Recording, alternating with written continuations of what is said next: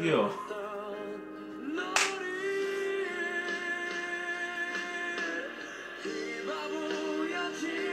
해봐요, 감님. 어.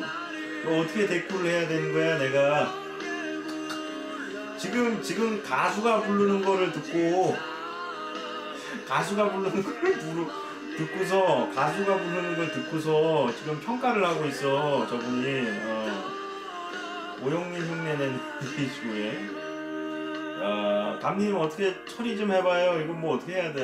어. 피곤해질라고 해. 저거 티나요? 자.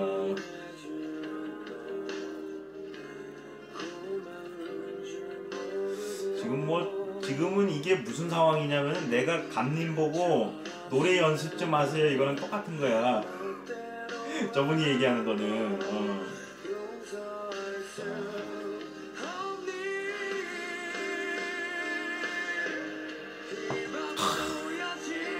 예, 말씀하시고요. 저거, 네네.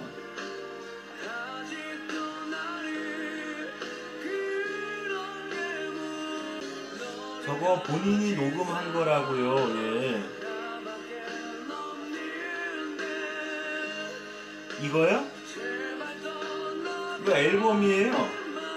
네네. 저기요. 저기 그 음악을 모르시면은 잠시 쉐더마우스 하시는 것도 좋은 게 지금 앨범 정식 발매된 앨범인데 그거를 틀고 있는데 시험님 노래가 아니냐고 얘기하면은 어떻게 댓글을 해줘야 되는지를 모르겠어.